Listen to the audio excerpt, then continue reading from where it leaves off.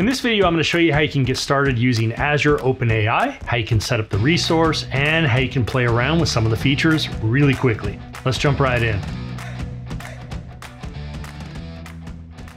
So if we go to portal.azure.com, we can either come up to the search or you'll notice I've used it a fair amount, so it actually shows up here, but we can go to Azure OpenAI.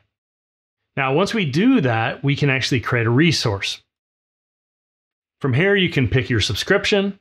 You can come on in and pick your resource group. I'm going to go ahead and leave East US, but this is what is currently available. And then notice you give it a name. So I'm going to do DWahlin test video or something along those lines that's unique. And then there's only one pricing tier as of today. That certainly may change, but be aware. Now from there, we can go ahead and hit next. I'm going to select all networks and just leave the defaults here and on the tags. And let's go ahead and review and submit this. So we'll create it. All right, now that the deployment's done, we can go ahead and go to the resource. And there's a few things I want to call out here. First off, you'll see the kind of standard suspects over here to the left, but on the right, notice that we have something called an endpoint. This is really, really important and something you're going to use. In fact, if we go to keys and endpoint, you can also get the endpoint from here, and you can get a key. And this is also something that we're going to need.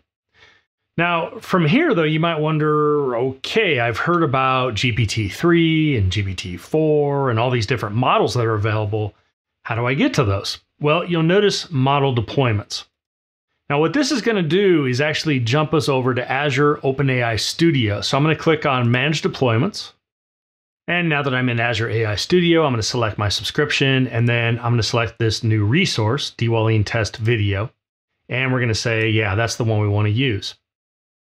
Now from here, you'll notice that we don't have a deployment. I want to give you a quick overview of what's here though. You'll notice there's a chat playground, we have a completions playground, bring your own data actually allows you to upload documents like Word documents, PowerPoint, Markdown, HTML, and more and you can actually use GPT type functionality against those documents. And then uh, DALL-E would be for image generation. Now, what we're going to do though is create a brand new deployment. So I'm going to select that. That gets us to the deployment screen. We'll click create new deployment. And now we need to select what model do we want. Now I'm going to go ahead and select GPT 3.5 Turbo. Of course, you need to pick what's appropriate for your scenario. But let's go ahead and pick this. And now, what is the model version? Now, this is important because if I pick the default here, that will work great. That's currently what I have access to. If you've applied for GPT-4 access, you might even see that. But if I wanted something like OpenAI function calling to be enabled, I'd need to make sure I select a model that supports it. Now, 0613 does. We're not going to demo that here, but I'm going to go ahead and pick it. And then we're going to give it a name. I'm just going to say GPT 3.5 Turbo, and we'll say 0613 to be very specific on that version. And we'll hit create. And there we go. We now have a model created that we can actually use. We can select this model, get some information about it, tell you about the tokens, your rate limits, things like that.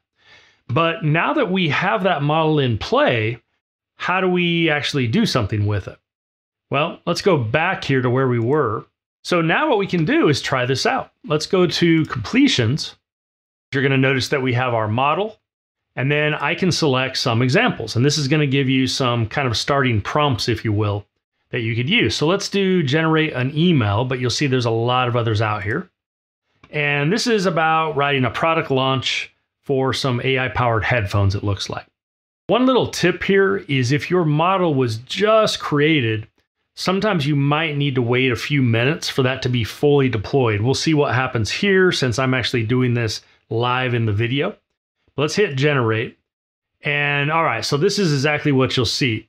The API deployment does not exist. If you created it within the last five minutes, please wait a moment and try again. So through the magic of video, I'm gonna go ahead and jump forward to where our model's created, and then we'll try this out. So let's try this again and we might get another error, but let's see what happens here. So we'll generate and look what happens. So it says that the model we selected isn't actually available with this completions playground. Now, at first you may be like, well, hey, you let me pick the model. What's the problem here? And it just turns out that because this is a very new one, as of the time of recording anyway, it's just not supported yet. So, what we can do is just go create another deployment. So, we'll create one and we'll just use the standard turbo. But I'm going to go with the auto update to default. Okay, now I could pick the default, but we'll do auto update. And let's just call this GPT 3.5 Turbo and create it. Okay, so now we have two models deployed.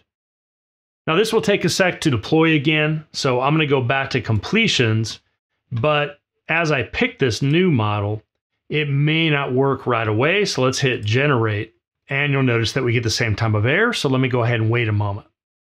All right, so let's go ahead and hit generate again. Looks like it's working this time. And it says, since this is a product launch email, please provide as much detail as possible. Then it starts to break this down. So notice now it's coming into, let's break this down to the audience.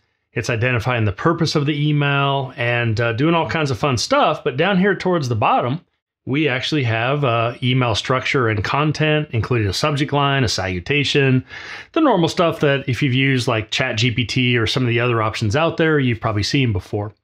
Now, there's a lot more we could do from here, of course. We could work with the chat playground, we could generate images, all kinds of fun things. But in the short time we have here, those are some of the main things I wanted to cover. Now, you're probably wondering, all right, great, that's nice that we have a playground, but how do I actually use this in my apps? Well, that'll be the subject of another video. So stay tuned, subscribe and like, please, and I'll see you in the next video.